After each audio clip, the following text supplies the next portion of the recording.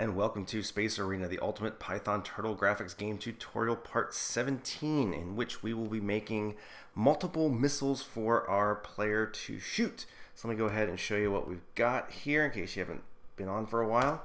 And so you see I've got one missile, and I can only fire one at a time, which is which is okay. Um, I can live with that. But let's say we get a power up or we want to make uh, more missiles. Let's go ahead and give our player the ability to shoot multiple missiles. So the first thing we got to do is actually we're going to create the missiles that the player can use.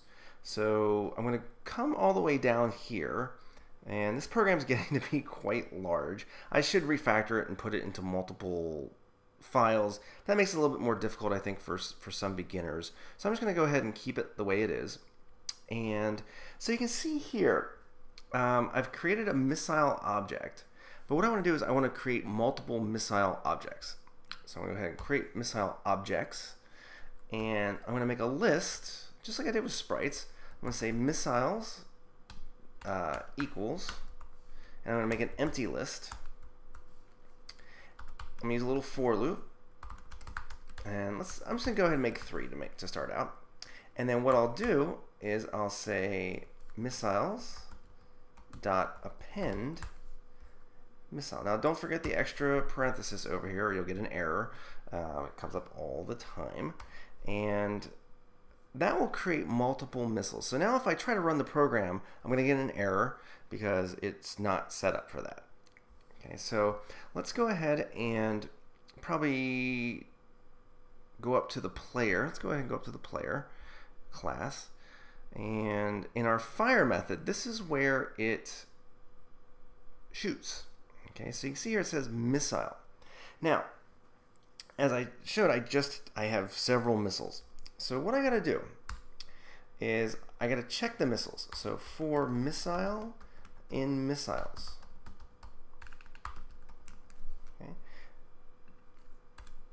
I want to fire. Now, if I do this, let's, let's just see what happens. We're probably gonna get an error. Yeah, we got, I thought we get an error. Um, sprites append missile line 43. So I made a mistake somewhere. Line 43. Okay, so you see here where I append the one missile. So what I gotta do is I gotta go say for missile in missiles, append missile.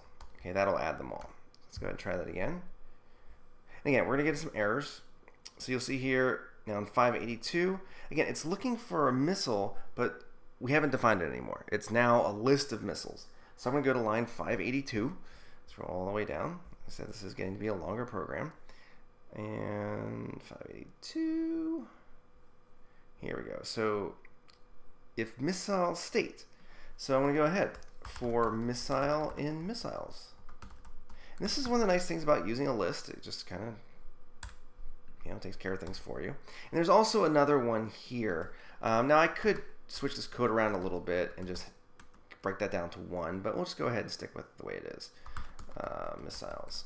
Okay, so there's several places that we have to deal with this missile issue. So if I just can keep testing it and see what happens. Okay, now it's running. So I'm gonna hit spacebar, fires. Okay. Now, it's hard to tell, but it's actually firing all three missiles at the same time. And you can probably see that the collisions aren't working quite right, and that's something I have to come back and revisit. But uh, I don't want them to fire all three missiles on top of each other. So here's what I'm going to do. I'm going to go back to my player, and wherever that's at, there we go, fire. And right now it's firing all of the missiles. Okay, so what I'm going to do is if missile.state equals active, uh, sorry, actually equals ready, I believe was what we used. It's been a while. So if the missile is ready, fire the missile. Okay, so, but what I need to do is I only want to fire one missile. So I'm going to try and put break in here. And what break should do, if I'm correct, is it'll break out of the loop and it will only fire the first missile. So let's go ahead and test that. I could be wrong, but so I'm going to spacebar, okay. Okay, two missiles. Okay, so one, two, three. So I can fire three missiles at a time, which is pretty cool. And you can see as soon as one disappears, I can go ahead and fire it. So we could actually, if we wanted to, we could go ahead and do something crazy, and we could go ahead and do something like, where are we at here? Missiles. We could make make 30 missiles. What the heck? Why not? Um, so I'm gonna go ahead. Now, because the they, they die pretty early, they, they, they disappear early, it's hard to get all 30 going. But you can see how basically now I can have un, almost unlimited missiles. Let's go ahead and change that back to 3.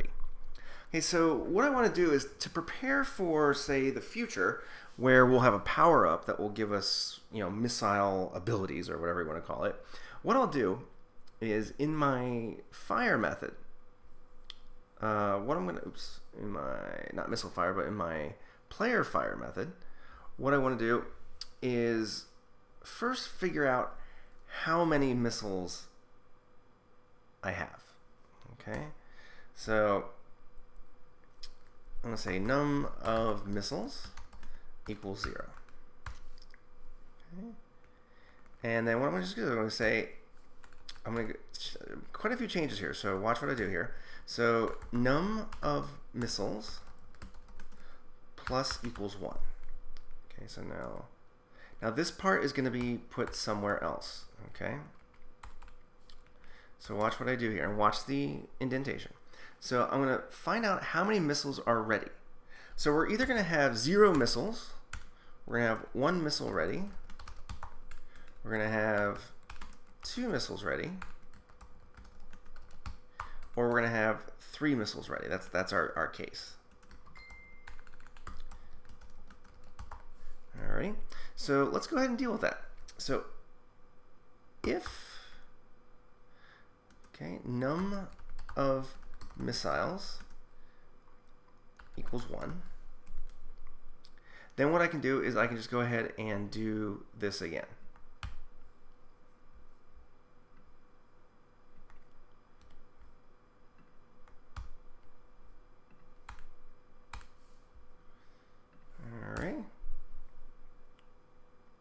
So that, that should put it back to where it was. Um, then what I can do here is I'm going to go ahead and just copy this for, for now. Again, usually I code these out ahead of time. I'm kind of doing this live, so it might be a little bit clunkier than you're used to seeing. Um, so I'm to hit 2, and I might have to change this around. Okay, again, I'm trying to keep this a little bit simple. So no matter what number of missiles I have, it's going to let me do this. All right, so Go ahead and hit function, F5. I got an error, of course, break outside of loop. Ah, okay. I got to do a loop here again for missile in missiles.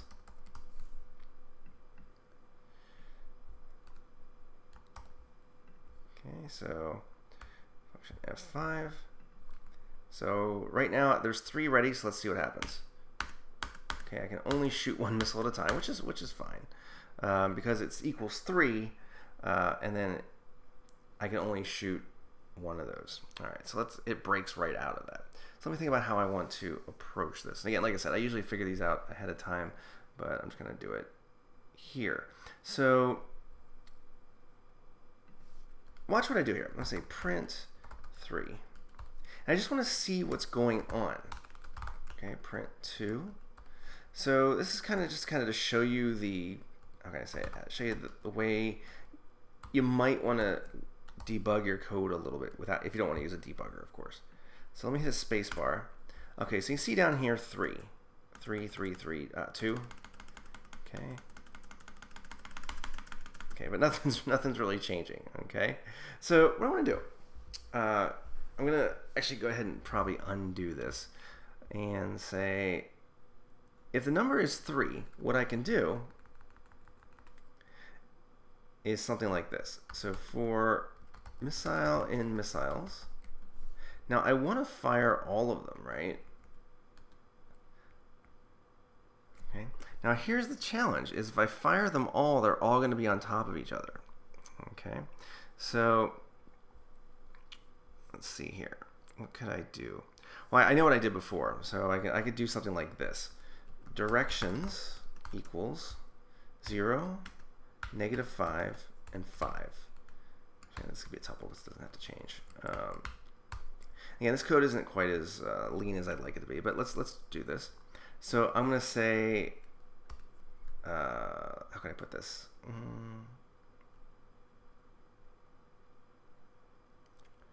So self dot, uh, sorry, missile dot dot heading plus equals directions dot pop. Okay, and let me see if this works, and then I'll explain it. Tuple object has no attribute pop. Duh. Okay, this has to be a list. My bad. Um, there's probably a better way to go about this, but this, this I think will work. Okay. Self dot missile dot heading plus equals directions dot pop for missile missiles. Let me try that again. Ah, notice three didn't. That's interesting. Three didn't. Oh, I took it out. Uh, print three. I just want to make sure that that's the section of code that's operating. Print. Great. This is going to be one of those good days I have in coding. but, you know, it's interesting, like, uh, just, you know, for people who are following at home or beginners, I've been doing this a long time. I make a lot of mistakes. Um, so it's, it's, it's not unusual. So let me go ahead and try that again. It should be working, but I don't know why it's not. Oh, duh. Total rookie mistake. Okay. I'm breaking out of that for loop. That was stupid. Okay, so let's go ahead and run that again. Okay. Okay, three. So that's not working. I was pretty sure that was going to work. Um, try minus 10. see if maybe we just need bigger numbers. So, the heading function F5. Oh, I know why. Because the heading is actually changed later? No. Ah, shot. Okay, got it. Self dot heading plus directions dot pop. Okay, so the heading of the missile comes from the player. That's right. Okay. Yeah, I haven't done one of these videos for about two weeks. So There's a bit of a gap here, so a little rusty myself. Let's try that. Okay, there, that's what I wanted. Okay, so now we've got a spreading volley of missiles, and they all bounce off the wall separately, and we can go ahead and shoot stuff. Oops, that was not what I wanted to happen. Okay, so that's the case where we have three missiles. Okay. But what's interesting, let, let's go ahead and, yeah, so so you notice there, I can only shoot one missile because there was only one missile left. Um, so what I'm going to do is I'm going to go ahead and just basically copy this, because it does work, which, which makes me happy.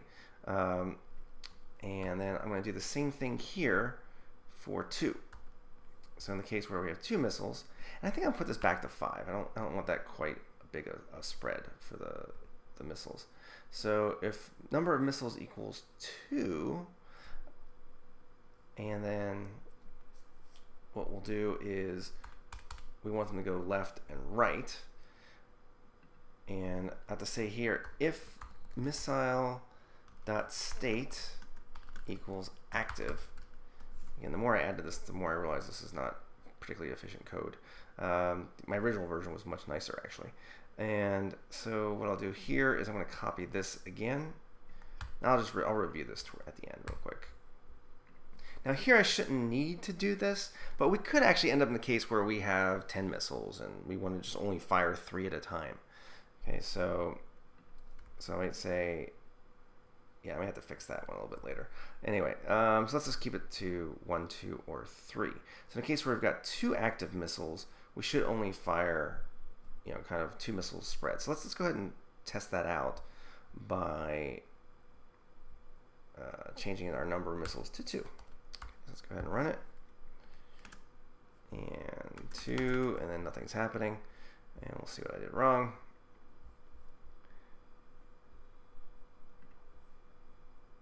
Missiles equals two. See, it's not printing two. Um, why is that?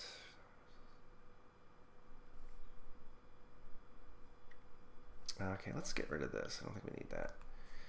Yeah, sorry, like I said, this is really, sorry, I'm usually a bit more organized.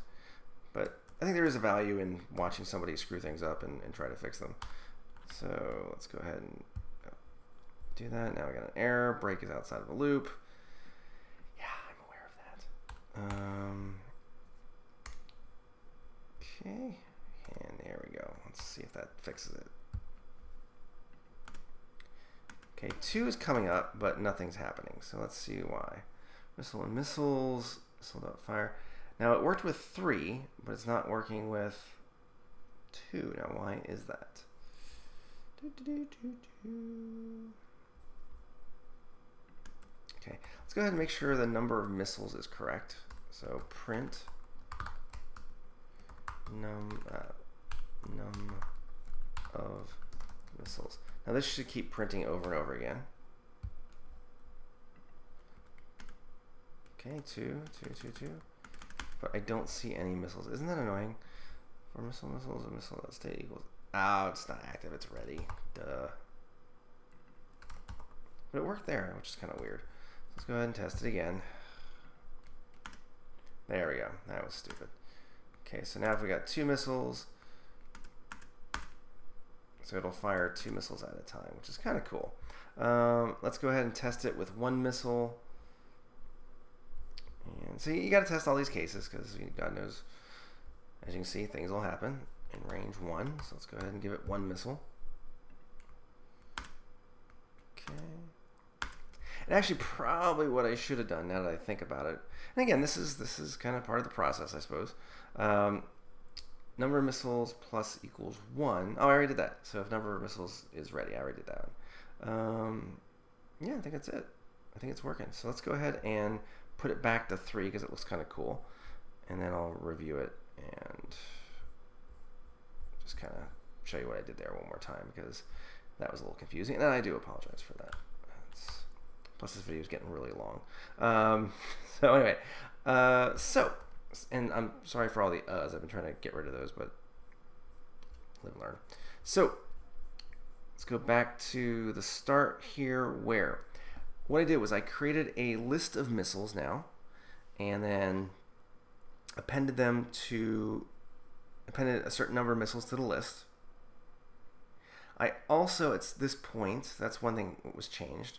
I also at in the collisions check to see not just one missile, but for missile and missiles. So I check if it's active and then check for the collisions. And I had to do that twice, once for power-ups and once for the enemies. Again, I could have combined that, but I'll leave it the way it is. The other thing I had to do was in the game setup, game, game, game, game, game, start level, excuse me, game start level, I had to append all of the missiles to the list of sprites so they would be updated and, and dealt with properly. And then in the player fire method, I had to find the number of active missiles, missiles that are ready, and I shouldn't say active, number of missiles that are ready to be fired. And in a case where there's one missile, I would fire just that, that, the one missile. Actually, I should say I should actually do the same thing here for missile and missiles because it might not be the first missile that's available. So we might get a little error there. So let's go ahead and take that out. And then, now again, I should test this, but I'm just going to leave it like it is because I'm tired. Uh, so uh, if the number of missiles equals 2, then what I did was, oh, I didn't explain the pop thing. So what I did was I have five, minus 5 degrees and plus 5 degrees. I want them to go slightly out at angles. And so what directions pop does is it actually takes this value out of the list, pops it off the list, and then I can add that. So the first time I add negative 5, pop. Pop it again, it adds 5. So number 2 and the number of items here has to match. Now if I had like, I want to do a 30 missile round robin thing, which would be pretty cool, I would have to have all of these, all of those plus 5, you know, 5, 10, 15, 20, 25, or whatever the numbers would work out to. Now in the case here where I've got three missiles that are ready, again, I should qualify that. I'm going to pop out. The first one's going to go straight. Second one's going to go a little to the left. Third one's going to go a little bit to the right. But you can't tell that as, as you're playing the game. So I'm going to go ahead and delete those. We don't need them.